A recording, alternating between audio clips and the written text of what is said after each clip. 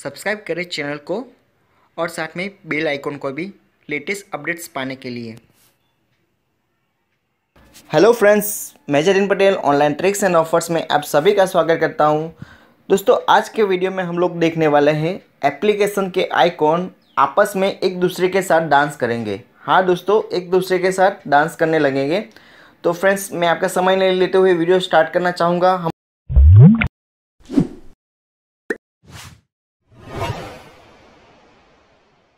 हम लोग यहाँ पे प्ले स्टोर में जाएँगे।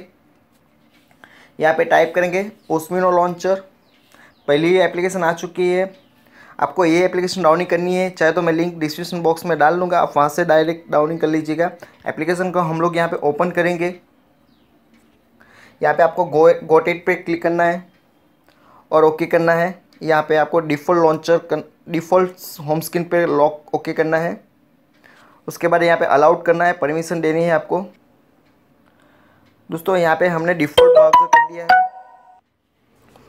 तो आप देख सकते हैं यहाँ पे, दोस्तों आइकॉन्स देखिए। एक फ़ोन को एक नया लुक मिलेगा, कुछ अलग डिफरेंट लगेगा। देख सकते हैं, दोस्तों, मैं यहाँ पे बैक आता हूँ। यहाँ पे एनिमेशन में जाएँगे हम। तो यहाँ पे आप ऑलवेज पे क्लिक करोगे तो वो कंटिन्यूस रहेगा।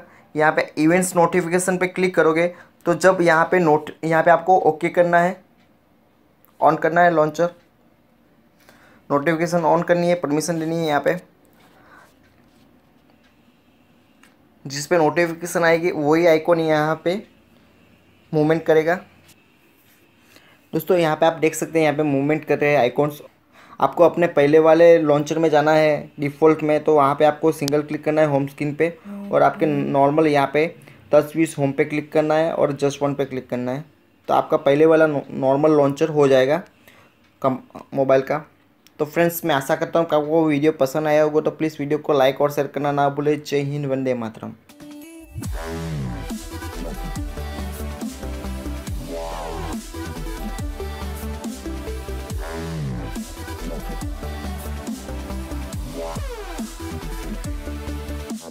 Let's go.